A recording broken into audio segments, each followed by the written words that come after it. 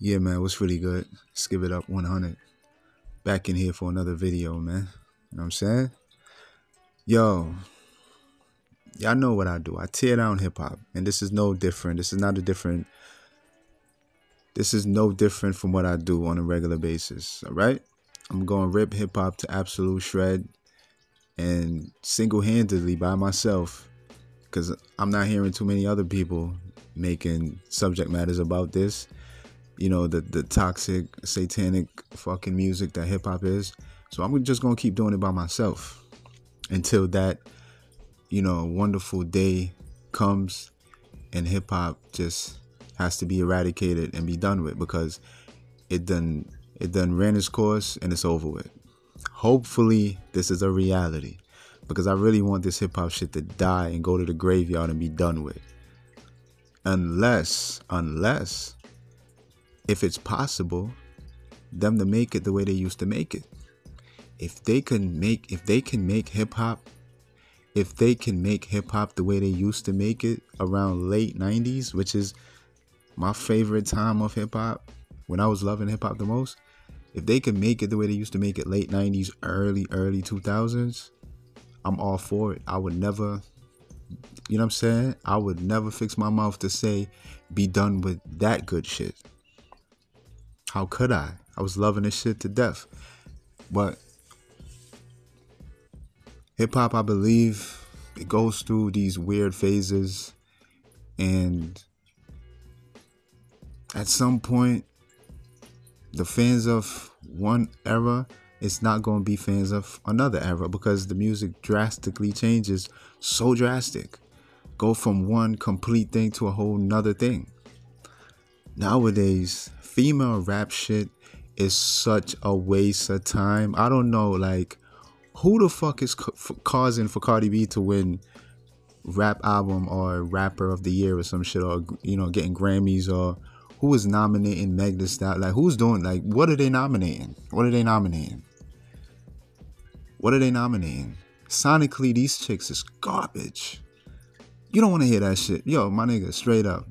I'm in my boy car one day and he turned on some shit that was out. I think it was like a year or two ago. I told I told a nigga straight up, turn that shit off. Yo, my nigga, you know how I am. Just turn that off, bro. You know how I am. I don't want to hear that because I'm telling you, it's a vibration. It's a certain frequency that shit puts you on. You could be uppity in your mood or whatever, and that shit'll bring you all the way down to depression. And just make you start to regret and start to get angry about some shit.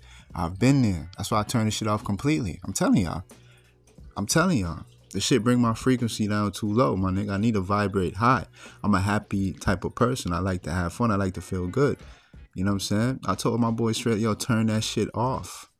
You know how I am. And we didn't argue about it, but he turned it down or whatever. And I was in my mood. I was fucked up the whole ride. Like, yo, I told you, nigga, I don't want to hear that shit. Yo, listen. With these female artists out here these days, man, I miss terribly artists like Lauryn Hill. I miss Lauryn Hill, bro. I even miss Lil Kim and Foxy and Da Brat and all of that. Missy Elliott, I miss all of them. Where the fuck they at? Why they not out here showing these little motherfuckers that they should hop their ass right back in the bleachers, up in the nosebleeds and be a fan? Cause that's all you is is a fan, bro. You're not a part of this artist shit. You're not an artist. Not because you post a video on the internet and got your ass some following that don't make you an artist. That don't make you an artist. You know what I'm saying? Where's these artists at? Where's Lauryn Hill at? Lauryn Hill was so prevalent. She dropped one album. The Miseducation of Lauryn Hill picked up five Grammys for that. Remember the days where the Grammy Awards actually rewarded conscious black people, like people that was black people that was talking conscious in their rap music and shit like that. You remember them days? Where niggas was getting accolades for that. Oh, them days are so gone, obviously, man. Oh my God, bring those days back, please. Please. We need it. We need some light in this darkness. The world is dark right now, man. It's really, really, really dark. And it's like we're locked into a cave and we don't see a way out. We don't see a way out. You know what I'm saying? So a lot of us are holding on to the current rap shit, knowing that it's going nowhere but hell but you're holding on to it because you don't got nothing else. And you don't know where to go because we're in this dark age right now. Shit is dark out here, man. Lauryn Hill. Doo Wop, that thing, that song right there, that she got so many. I think it was a song of the year or single of the year or some shit like that. That same year, 1999. Just listen to these lyrics. These lyrics, these artists ain't spitting shit like this no more. It's been three weeks since you've been looking for your friend, the one that let you hit and never called you again. Remember when he told you he was about the Benjamins? You act like you ain't hear him, then give him a little trim to begin. How you think you're really gonna pretend like he wasn't down and you call him again? Plus, when you give it up so easy, you ain't even fooling him. If you did it then, then you probably fucked again. Talking out your neck, saying you're a Christian, a Muslim, sleeping with the jinn. Now that was the sin that the Jezebel in. Who you gonna tell when the repercussions spin? Showing off your ass because you're thinking it's a trend, girlfriend. Let me break it down for you again. You know I only said because I'm truly genuine. Don't be a hard rock when you really are a gem. Who's rapping like this nowadays? Male or female? Nobody's spitting like this because they don't have the knowledge. They don't know nothing. And they don't have the creative that creative spin on things that true artists got because they're not true artists, like I'm saying. Nobody's rapping like that no more because they're not true artists. And sonically, if they even talk this conscious shit that Lauryn was talking, it's not gonna sound that good because production these days are very, very trash. It's just the beat and that's it. It's silly when girls say they sold because it's in. Look at where you been. Here weaves like European fake nails done by Koreans. Come again. It's silly when girls sell their souls because it's sin. Look at where you been. Here weaves like European fake nails done by Koreans. Are we not seeing that out here right now? 25 years later, after Lauryn Hill laid down those lyrics. Lauryn Hill dropped this one album, got all these accolades, and never dropped another one. You ever wonder why? Maybe it's because she's seen where the music was heading. Because a lot of them are privy to what is coming up while they're in the industry. They're in the know. We on the outskirts, we don't know nothing. They're in the know. They know what's up. They know the next 10 years is going to be on some other shit.